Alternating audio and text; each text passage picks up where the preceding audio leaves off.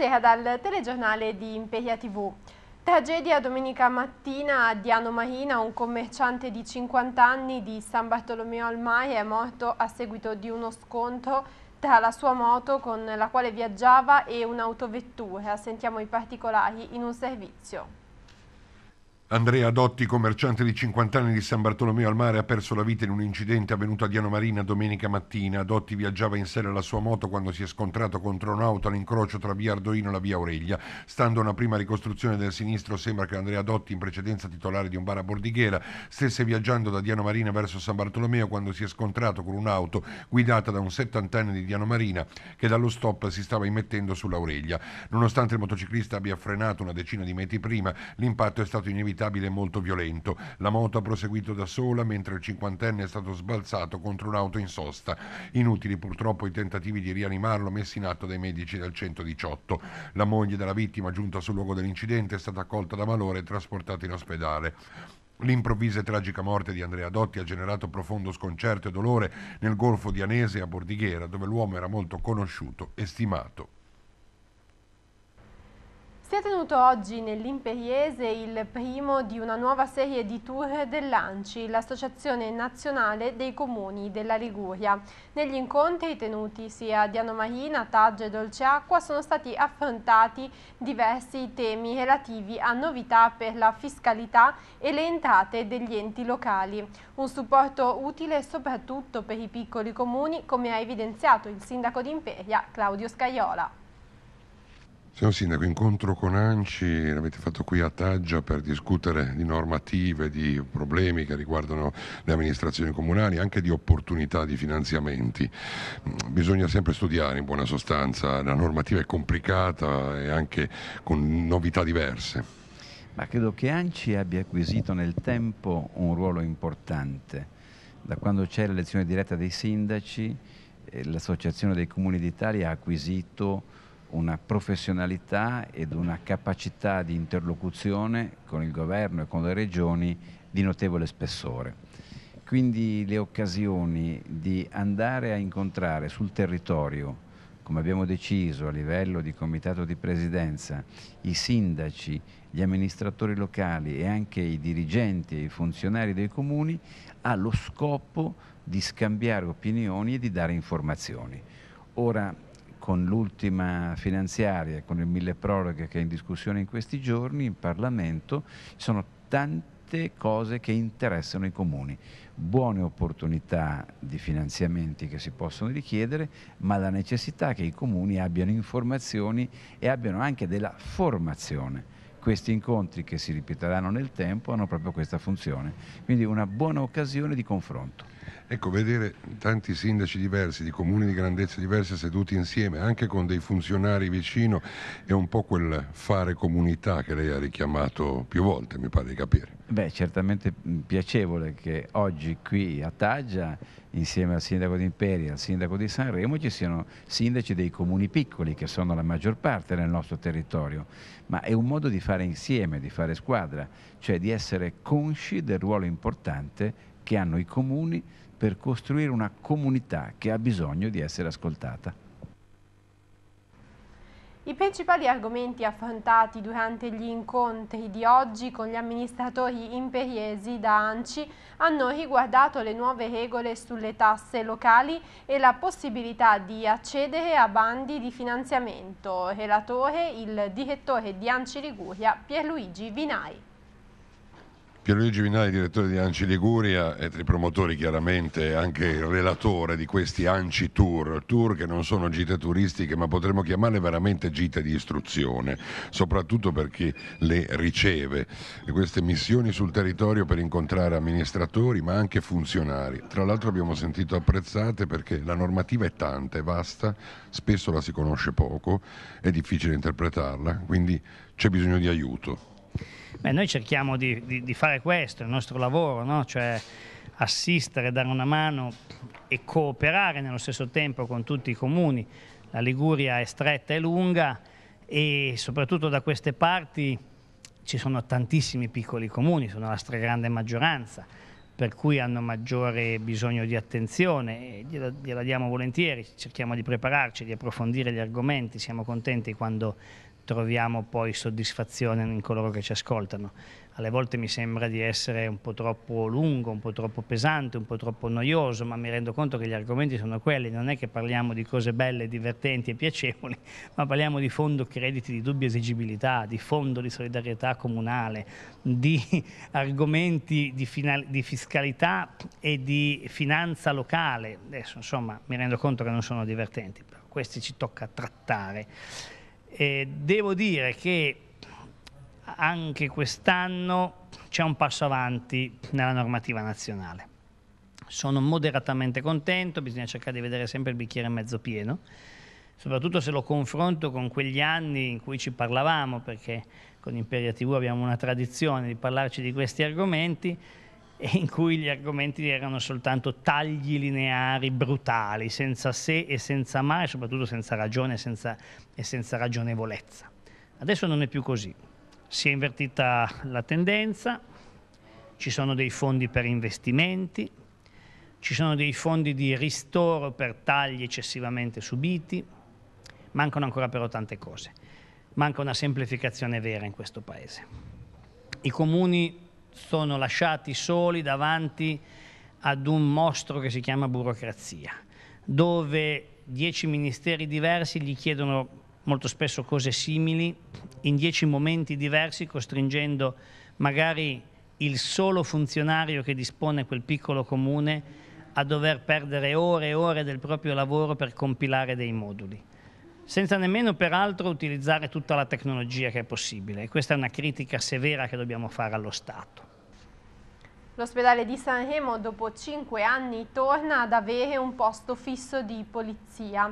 La notizia è stata ufficializzata stamani alla presenza del questore di Imperia Cesare Capocasa, dell'assessore regionale alla sanità Sonia Viale e del direttore generale dell'ASL imperiese Marco Damonte Peoli.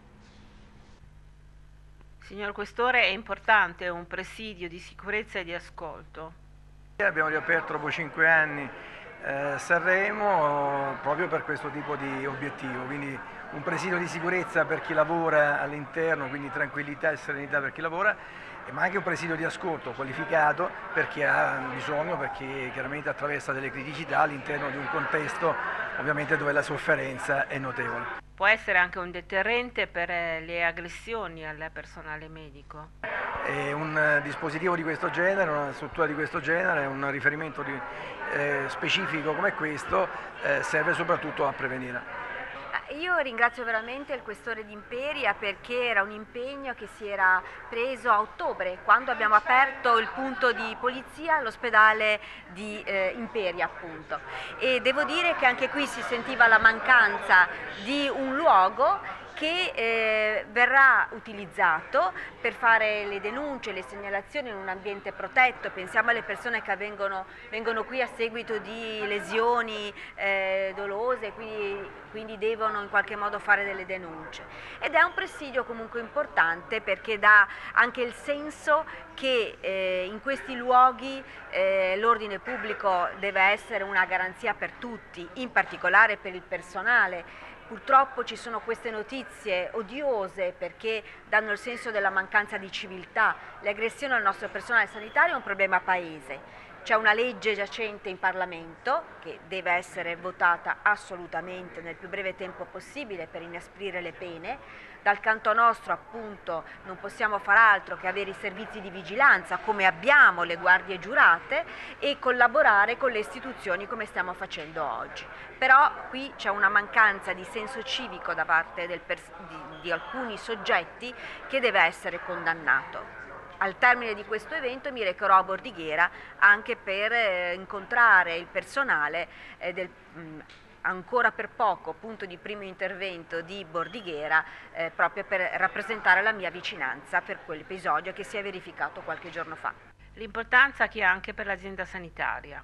È importantissimo, purtroppo il fenomeno in particolare delle aggressioni agli operatori sanitari è in crescita a livello nazionale, stiamo mettendo in atto anche in accordo con Regione Liguria tutti gli interventi normativi e organizzativi per far sì di contenere questo fenomeno, ma credo che la giornata di oggi sia veramente il punto più importante di questo passaggio, ovvero la presenza di un poliziotto fisso all'interno del presidio di Sanremo eh, deve far sì che insomma, eh, ci sia questa presenza importante delle forze dell'ordine che oltre all'azione di eh, contenimento di questi fenomeni deve rappresentare anche, come diceva il questore, un punto di vicinanza e voglio approfittare proprio dell'occasione per ringraziare il questore Capocasa con cui in questi anni stiamo lavorando veramente in modo ottimale dal ripristino del posto di polizia all'ospedale di Imperia al ripristino del posto di polizia odierno, ai controlli che sono stati fatti in accordo con la Polizia di Stato sul territorio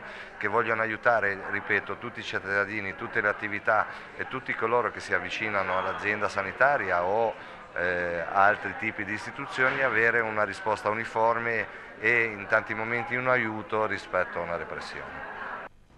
Soddisfazione per l'apertura del posto di polizia dell'ospedale di Sanremo è stata espressa dall'Ordine dei Medici di Imperia. La riapertura arriva infatti dopo una recente aggressione a personale sanitario avvenuta a Bordighera. Vediamo. L'Ordine dei Medici della provincia di Imperia da anni chiedeva la riapertura di un posto di polizia nell'ospedale di Sanremo. Da anni noi ci battiamo perché eh, negli ospedali eh, della provincia eh, venga riattivato il posto di polizia come già era in passato. Questo proprio alla luce anche delle continue aggressioni ed è recente di pochi giorni fa ancora un'aggressione a un collega del pronto soccorso di Bordighera proprio al fine di cercare di tamponare in qualche maniera quello che è ormai una violenza che in tutta Italia purtroppo è, è colpisce gli operatori sanitari, quindi anche gli infermieri. Il fatto che ci sia una, un agente di polizia già presente per gran parte della mattinata, fino, mi pare mi abbiano detto fino alle 2 del pomeriggio, è una cosa eh, da eh, positiva. Certo sta all'amministrazione, all'azienda sanitaria eh, provvedere anche a un sistema di vigilanza eh, pomeridiana e notturna proprio a favorire e comunque a cercare di in qualche maniera di ostacolare la violenza eh, su, sugli operatori sanitari. Violenza che come voi sapete a livello nazionale è ormai veramente una, una tragedia oserei dire perché non passa giorno, c'è una media di 1,5 aggressioni a personale medico in Italia, 1200 sono censite come dati eh, dell'INAIL e circa il 38% della popolazione medica e infermieristica non dichiara eh, l'avvenuta aggressione. Questo per motivi eh, direi un po' di timore, ma eh, soprattutto per il fatto che è venuta meno quella, eh, come posso dire, quella eh, rispetto, l'autorispetto eh, del medico, proprio dire autorispetto, cioè nel fatto che dice beh purtroppo noi siamo in prima linea, ormai siamo eh, alla mercé di tutti. Questo anche, e ci tengo a precisarlo, anche non solo a livello di pronto soccorso, a livello di guardia medica, di 118, abbiamo avuto casi in passato anche nella nostra provincia, a livello dei servizi di psichiatria dove è, è, alto come il numero delle aggressioni rispetto a quello che può essere a livello diciamo eh, comunque o di pronto soccorso di attività ambulatoriale. Quindi veramente come ordine le nostre insistenze, la nostra fatica riconosciamo che oggi finalmente riconosciuta anche per, per l'ospedale di Sanremo e eh, ovviamente ci auguriamo che questo possa servire a essere un pochettino più sicuri. E voi sapete benissimo che oggi c'è una facilità da parte del cittadino ad aggredire in generale le persone, soprattutto in ambito scolastico, ma soprattutto in ambito, in ambito medico.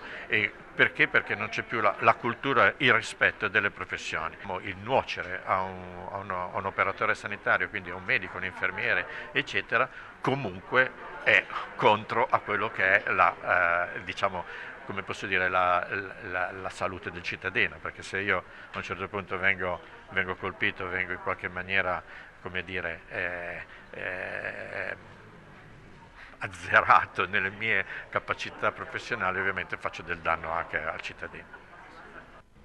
La settantesima edizione del Festival della canzone italiana ha visto la vittoria di Diodato con Fai rumore, secondo gradino del podio per Francesco Gabbani con Viceversa e terzi i Pinguini Tattici Nucleari con Ringo Starr.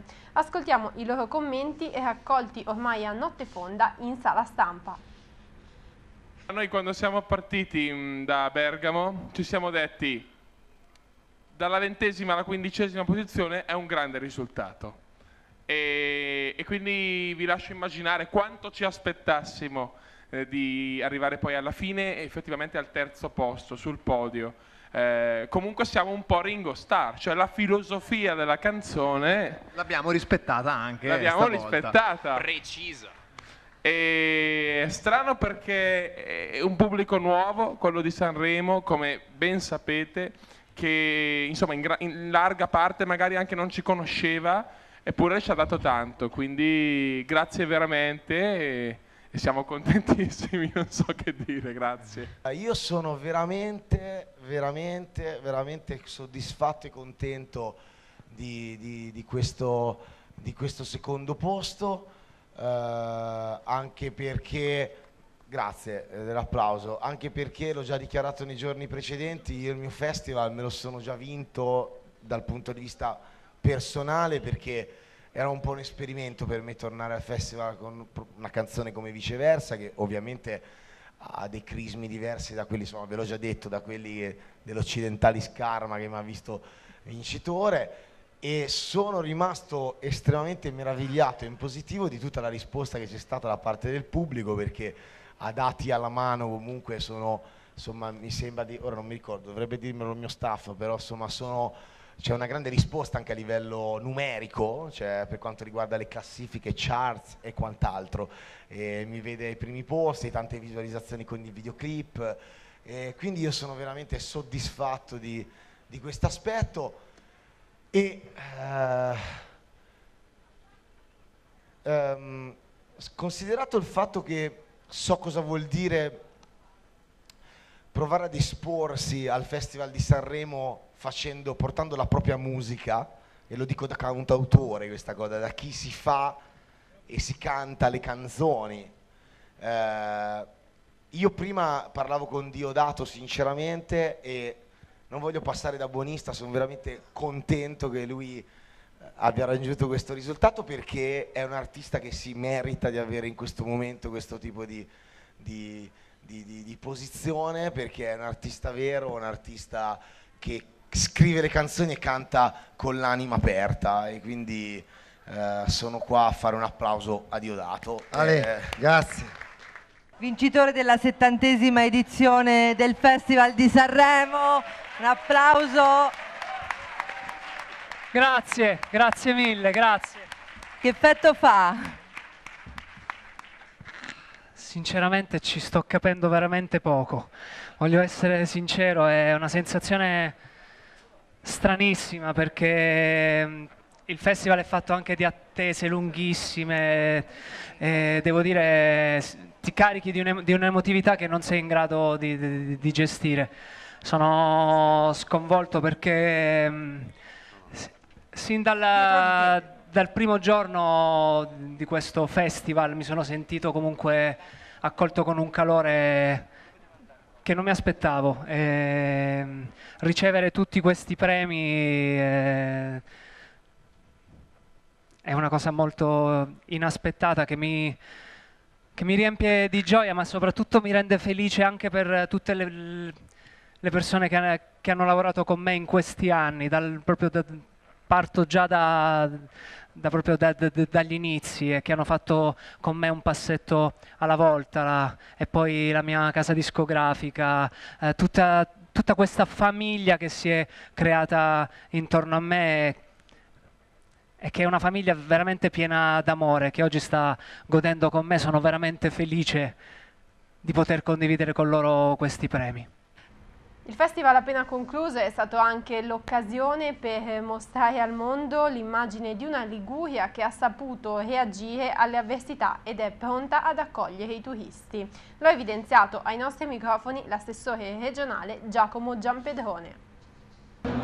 Anche l'assessore Giacomo Giampedrone qui a Sanremo, finalmente un'occasione di allegria, di musica, da farfallino e non da scarponi per andare per cantieri potremmo dire, ma è il momento di rivendicare quello che si è fatto, di guardare al futuro e dire che la Liguria ha il suo orgoglio. Beh, direi che per una sera la camicia possiamo anche mettercela, è giusto eh, essere presenti oggi per la vetrina internazionale che Sanremo ricopre in questo periodo, è giusto anche rivendicare tutto il lavoro che abbiamo fatto e soprattutto non dimenticarsi di nessuno. Ancora ieri abbiamo in giunta varato 2 milioni di euro per dare risposte ai comuni più piccoli, alle strade dissestate, quindi siamo in una serata di festa, di grande centralità della nostra regione senza dimenticarsi del lavoro che facciamo quotidianamente e ininterrottamente da 4 anni e mezzo. Ma anche perché è giunto il momento di dire che la Liguria c'è, che la Liguria eh, non è soltanto guai per l'alluvione o ponti che cadono, sono anche ponti che si ricostruiscono,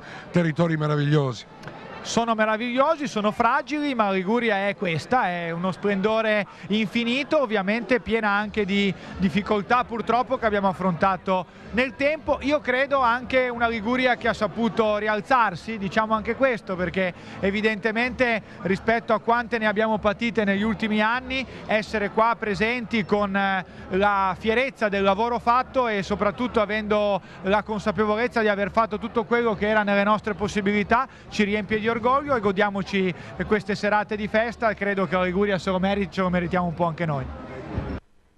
Per il primo anno anche il Corecom Liguria, Comitato regionale di controllo sulle comunicazioni, ha voluto essere presente al festival. Le iniziative promosse ci sono state illustrate dal presidente del Corecom Vinicio Tofi. Vinicio Tofi, il presidente di Corecom Liguria, beh, Sanremo Festival e mondo della comunicazione non potevate mancare.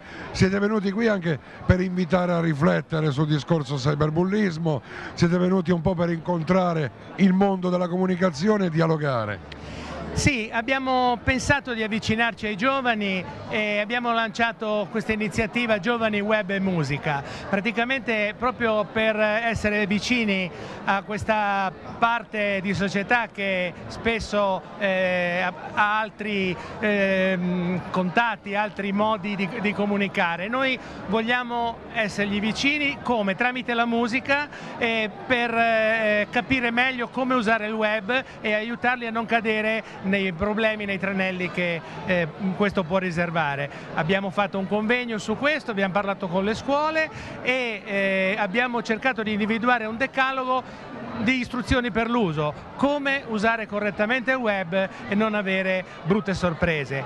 Eh, per questo, sempre eh, in collegamento con l'ambiente della musica, eh, diamo eh, un premio, il premio Corecom, all'artista del festival che si è distinto per la maggiore sensibilità al problema del cyberbullismo.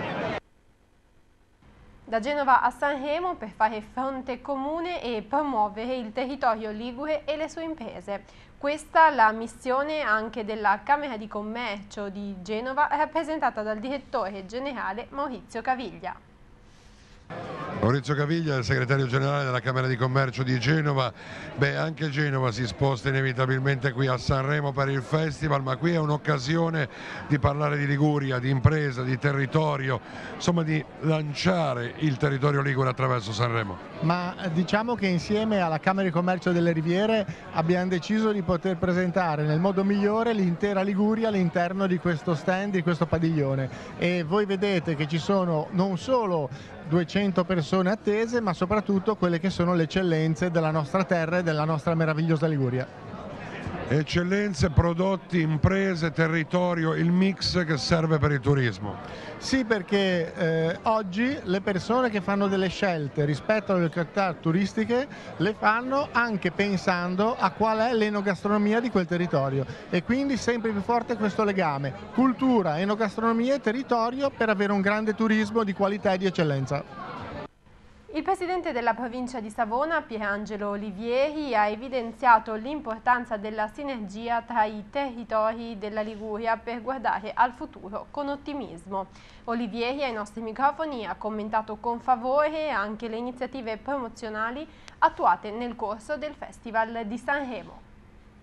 Con noi il presidente della provincia di Savona, Pierangelo Olivieri, perché Sanremo è grande vetrina, Sanremo è occasione di dialogo, ma anche occasione di rivendicare. Noi ci siamo, guardiamo avanti, anche la provincia di Savona ha avuto i suoi problemi, ma vuole guardare con forza al futuro. Perfetto, ha già fatto una sintesi eh, di quello che è il significato della presenza istituzionale con, con piacere e convinzione e il nostro territorio ferme le proprie individualità, ferme le proprie caratteristiche. Eh, io sono anche sindaco di un piccolo paese in quanto, e, in quanto tale presidente della provincia, ma assolutamente dobbiamo ragionare come regione, come territorio, come comprensorio eh, ligure. Ed è veramente un'occasione dopo un periodo complesso, l'autunno scorso ha, ha flagellato veramente in una maniera eh, incomprensibile, impensabile tutto il territorio savonese, se pensiamo che abbiamo dovuto aprire 60 cantieri in sommergenza sulla sola viabilità eh, savonese, dunque trovarsi oggi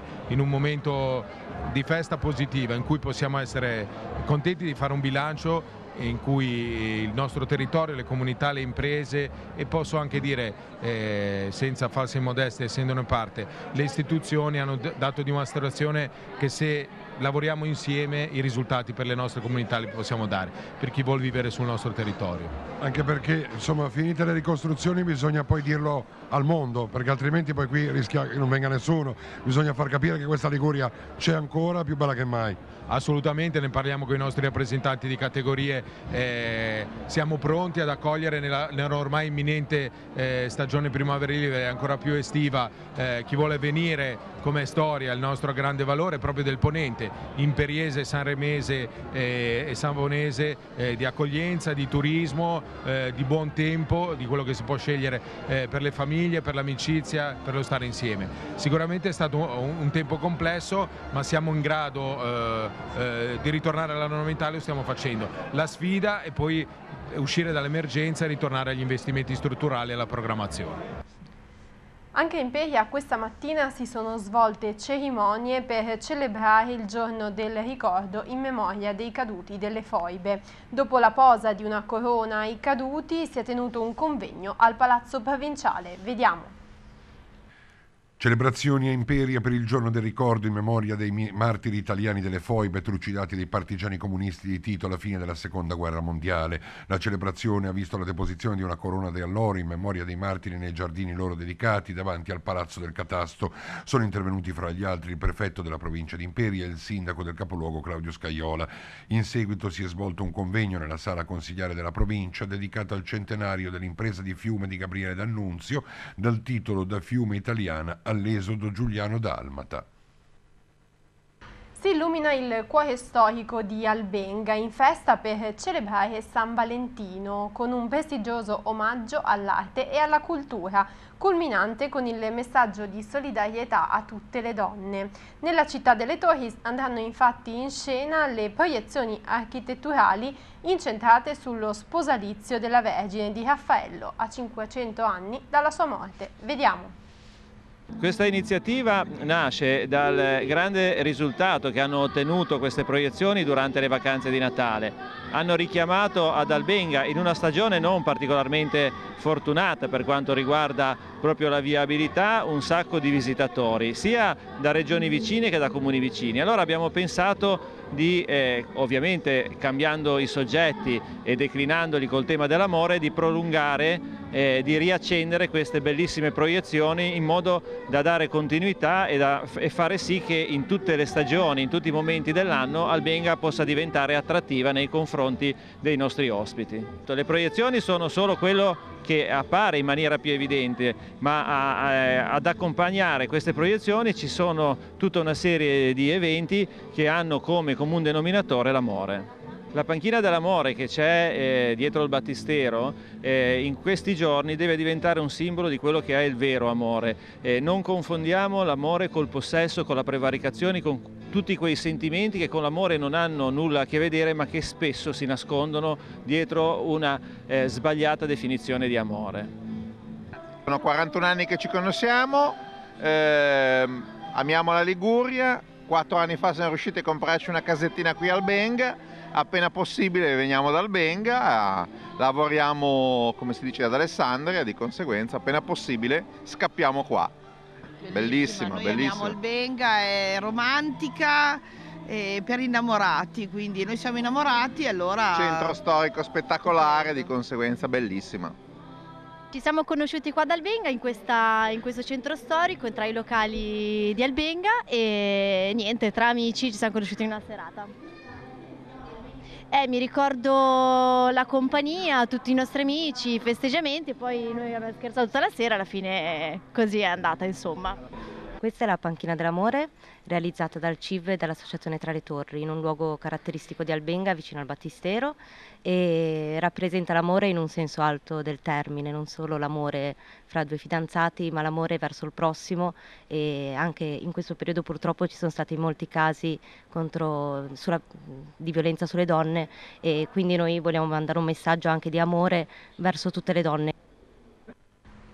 Ascoltiamo adesso l'angolo di Daniele Lacorte che ci parla di liste d'attesa.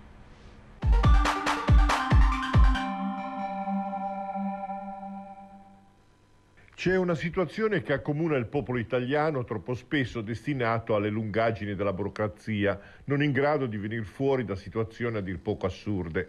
È la lista d'attesa, dove non c'è da attendere, da aspettare. Buona parte delle attività commerciali non hanno installato negli ingressi distributori di numeri per mettere la gente in lista d'attesa. Devi andare dal panettiere? Aspetta, aspetta il tuo turno in base all'ingresso in negozio. Lista d'attesa dal medico di famiglia, quasi sempre ingolfato dalle- nelle ore di punta. Lista d'attesa negli ospedali per sottoporsi a semplici accertamenti clinici. Listi d'attesa per un intervento chirurgico. Siamo tutti destinati ad attenderle e le liste si allungano per poca organizzazione, per lentezza incomprensibile. Uno alla volta le liste d'attesa continuano, ma una, una volta, lo ripetiamo, la famosa lista d'attesa era quella dell'aeroporto, ma solo per chi non aveva prenotato il volo e aspettava e ancora aspettava nella speranza che qualcuno rinunciasse al biglietto prenotato. Ma come abbiamo detto, ci ripetiamo, l'attendere fa parte del vivere, del vivere. Ora c'è la lista d'attesa anche per chi muore. Volete l'esempio? Eccovi accontentati. A Palermo c'è la lista d'attesa al cimitero e le bare vengono accatastate in un deposito in attesa che salti fuori in qualche modo una tomba. Sono 300 da qualche giorno casse, bare accatastate in un vergognoso modo, in un vergognoso deposito. Quanto dovranno attendere? Non ci resta che rimanere in attesa, e giochiamo sulle parole, che la politica diventi cosa seria e risolva i problemi della gente prendendo a calci nel sedere gli imbonitori da strapazzo, quelli che ci vorrebbero tutti in lista d'attesa.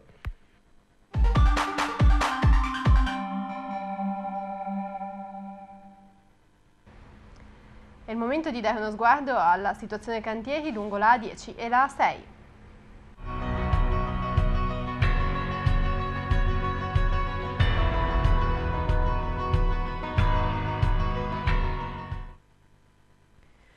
Tronco A10, Savona, Ventimiglia, confine di Stato, direzione Italia, carreggiata sud tra Borghetto Santo Spirito e Pietra Ligure, carreggiata chiusa con doppio senso sulla carreggiata opposta per rifacimento della pavimentazione dal 10 al 14 febbraio, tra Finale Ligure e Spotorno, chiusura della corsia di marcia o di sorpasso per adeguamento della galleria Rocca Carpania dal 10 al 14 febbraio. Direzione Francia, carreggiata nord, tra Spotorno e Finale Ligure, chiusura della corsia di marcia o di sorpasso per adeguamento della galleria Rocca Pa- Carpania dal 10 al 14 febbraio. Tronco A6, Torino-Savona, direzione Savona, tra Ceva e Millesimo, carreggiata chiusa con doppio senso sulla carreggiata opposta per lavori di rifacimento dell'impalcato del viadotto Mollere Sud fino al 9 aprile. Tra Millesimo e Altare, chiusura della corsia di emergenza e marcia per lavori di miglioramento sismico del viadotto Tapello Sud fino al 12 marzo. Tra Altare e Savona, chiusura della corsia di sorpasso per lavori di adeguamento e rinforzo del viadotto Castellaro fino al 29 febbraio. Tra Altare e Savona, restringimento della carreggiata in regime di deviazione della carreggiata nord per lavori di rifacimento dell'impalcato viadotto Madonna del Monte fino al 9 aprile. Direzione Torino. Tra Millesimo e Ceva, restringimento della carreggiata in regime di deviazione della carreggiata sud per lavori di rifacimento dell'impalcato del viadotto Mollere Sud fino al 9 aprile. Tra Savona e Altare, carreggiata chiusa con doppio senso sulla carreggiata opposta per lavori di rifacimento dell'impalcato del viadotto Madonna del Monte fino al 9 aprile.